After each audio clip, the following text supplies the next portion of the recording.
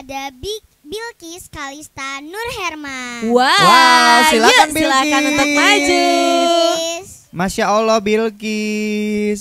Wow. Masya Allah.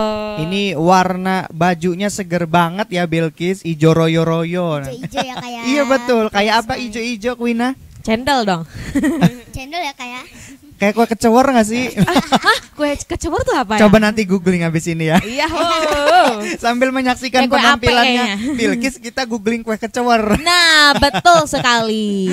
Baiklah, pemirsa Sultan TV dan juga yang ada di studio, yuk kita saksikan penampilan dari Bilkis. Kalista Nur, Nur Herman dengan tema Menjaga akhlak yang mulia.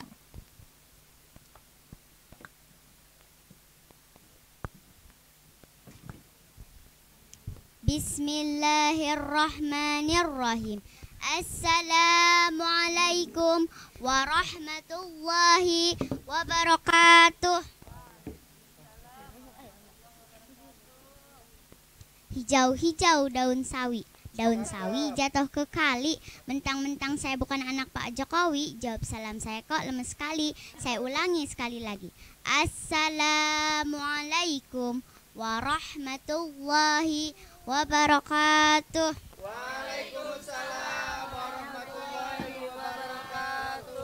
Hamdan wa syukran lillah Salatan wa salaman ala rasulillah. La nabiyya ba'dah Ashadu an la ilaha illallah Wa ashadu anna muhammadan abduhu wa rasuluh. Amma ba'du. Segala puji bagi Allah yang telah menyempurnakan Yang telah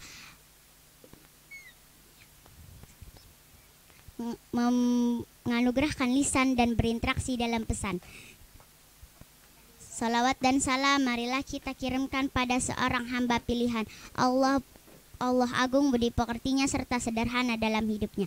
Dialah Nabi Allah Muhammad sallallahu alaihi wasallam. Dewan juri yang adil dan bijaksana dan senantiasa menilai kami seadil-adilnya.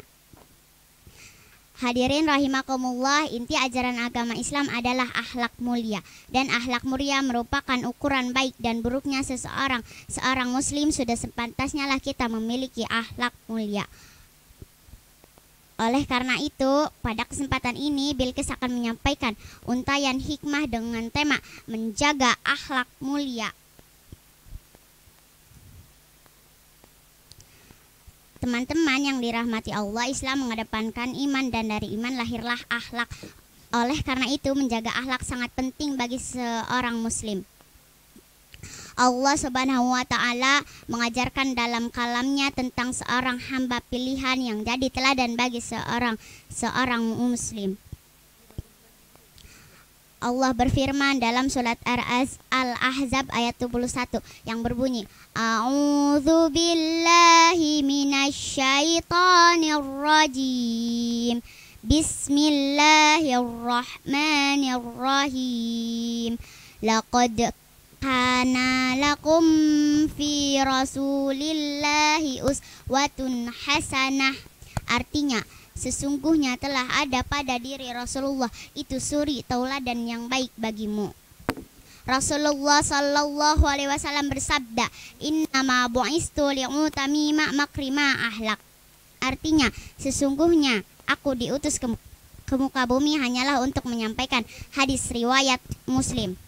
Diutusnya Nabi Muhammad Sallallahu Alaihi Wasallam sebagai nabi karena kondisi masyarakat Mekah saat itu jauh dari tuntunan agama mereka, menyembah berhala, berjudi hingga mempraktikkan riba.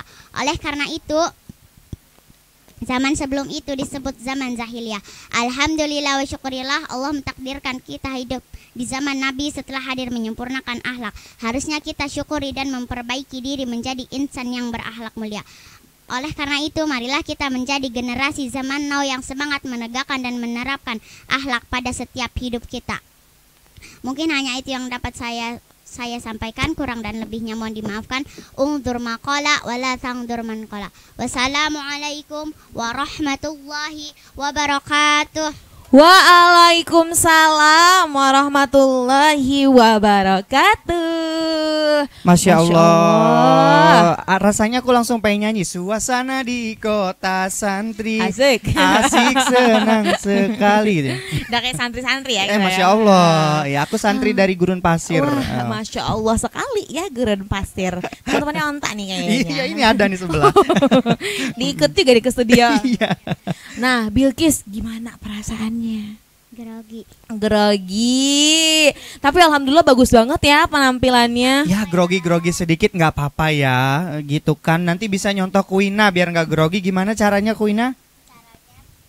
Pede Wah, aja Dikira mau pakai ketikrek tapi Oh. langsung pede.